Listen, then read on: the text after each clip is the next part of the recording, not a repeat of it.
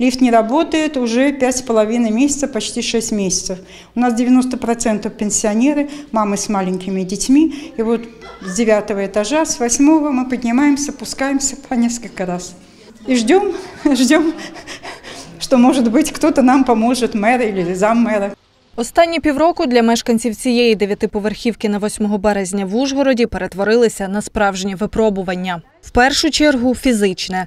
Через зламаний ліфт люди змушені щодня по кілька разів прикладати немалих зусиль, аби покинути свої оселі, а потім у них повернутися. Все через те, що ще взимку частину обладнання викрали невідомі. Трапилось це зимою. Уже дитині 7 місяців ліфт ще не працює, а нам було зимою в місяць.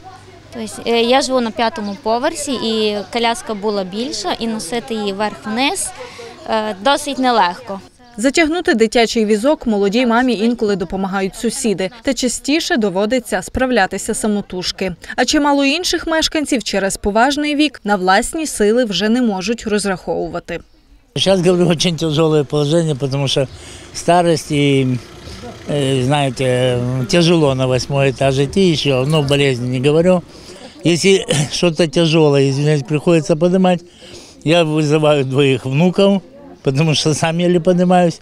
Внуки уже, говорю, ребята, сетку поднимите или вторую, и вот они идут наверх.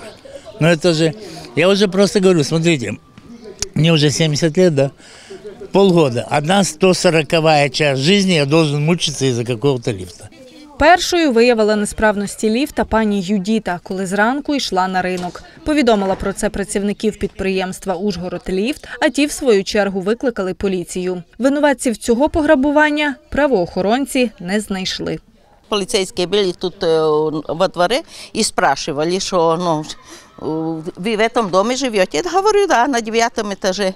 Говорит, а вы не слышали, говорит, чтобы э, с лифта э, украли там что Ну, так говорю, а кто ночью дежу- дежурит э, лифт? Так ночью люди спят. Ну, так не так Ночью люди спят. Но действительно ничего не было слышно. Это так тихо. Но соседи мои сказали, что в 11 часов лифт еще работал. Люди бідкаються. За цей час неодноразово зверталися в міськраду з проханням відновити ліфт, але досі жодного результату. Но мы очень часто и ходили, и говорили. Мы собрали всех жильцов, написали письмо и обратились к мэру. Вот. Мэр это письмо прочитал, и когда в феврале месяце э, это была э, встреча с ним э, это в онлайн, вот, он э, сказал, да, это я письмо получил, вот, и э, обязательно не переживайте, лифт у вас будет работать. Після штурму посадовців гроші на ремонт ліфта виділили. Коштуватиме це 80 тисяч гривень, з яких 80% профінансує місто, ще 20 – самі мешканці. Пані Людмила показує листи з міськради і каже, питань досі ще більше, ніж відповідей, і мешканці не знають, як пришвидшити процес.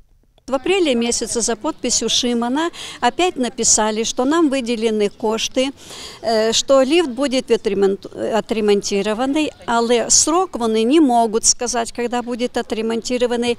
І нам, що виш- 80% буде за счет э, бюджета э, деньги виділені, а 20%, 20% нам треба буде собрати средств, э, денег.